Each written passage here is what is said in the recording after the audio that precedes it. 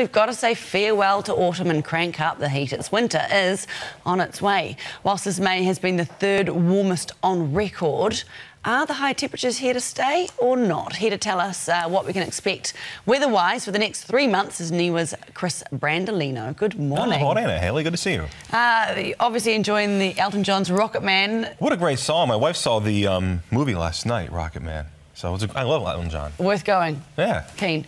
Uh, let's talk about the weather, though. Um, obviously, it's been a slow start. Does this mean winter, uh, winter's going to be mild? Well, the outlook, the expectation is that uh, for much of the country for the winter season. So let's start off in the east of the South Island. We think that's where there's going to be above average temperatures for the winter season.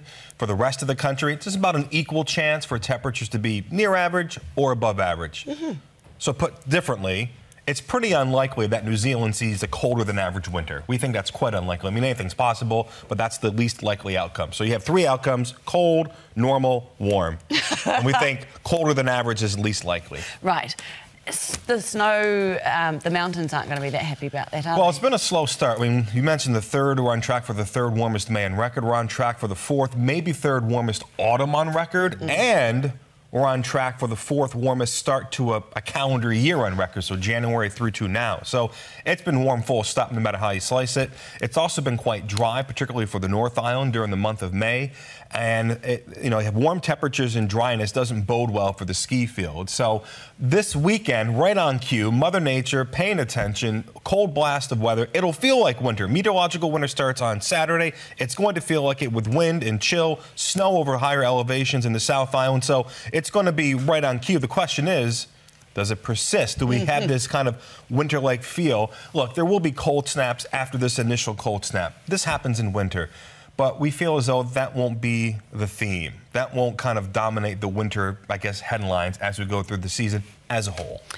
How are farmers going to fare? Do you think they're going to be happy, happy about that? So a couple points in that. So the farmers have actually done quite well with the autumn being so warm. They've extended the growing season um, with the warmth across at least the upper North Island.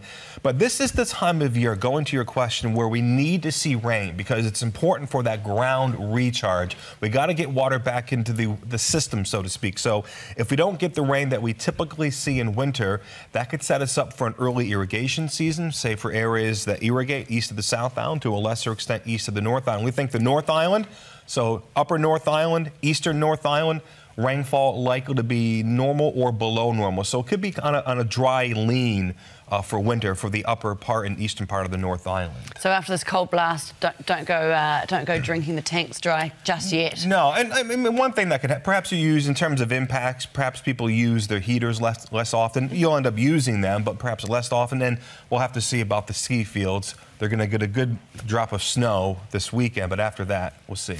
Are we up for any wild weather? Are there any storms coming? There's always going to be. You always get wild weather in winter. What we're watching is the Tasman Sea. New Zealand, we're an island nation, so as the sea temperatures go around New Zealand, that's how our air temperatures go. It's been quite warm, the Tasman Sea, right? It's cooled off a little bit, but still warmer than usual.